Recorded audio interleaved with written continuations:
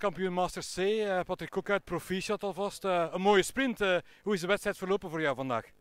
ja, dank u het was een zware wedstrijd. En vooral toen, toen de B-renners bij ons kwamen. Ten slotte zijn die, die gasten toch een stuk jonger. Er zijn daar mensen bij die 15 jaar jonger zijn. En dat was toch, toch wel zwaar voor ons. Tot, uh, tot op het einde hebben we nog uh, met vier overschoten uh, van de C. En we hebben wijselijk de B-renners laten wegrijden.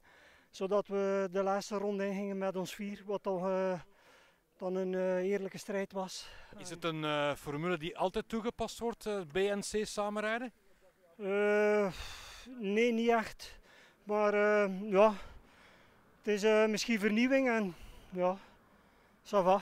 Wat vond je van het parcours? Uh, niet zo makkelijk denk ik hier hè? Ook de wind speelde een rol denk ik.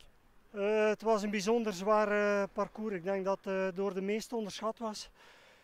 vooral de, de, de, slechte kasseiweg en de tweede klim daarin. Het was, het was echt een heel zwaar, zwaar parcours, maar het was mooi, het was selectief.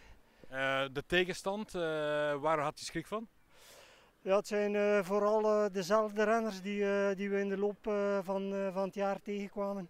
Zoals eh, de uitredend kampioen eh, van vorig jaar was eh, een van de kanshebbers. Er is dan nog iemand, Luc Keim, die vroeg in de wedstrijd gevallen was. Ik denk dat dat een beetje de voornaamste tegenstanders waren. En je neemt de trui mee naar? naar Wachtebeke. Waar ligt Wachtebeke? Uh, Wachtebeke ligt bij Zelzetten.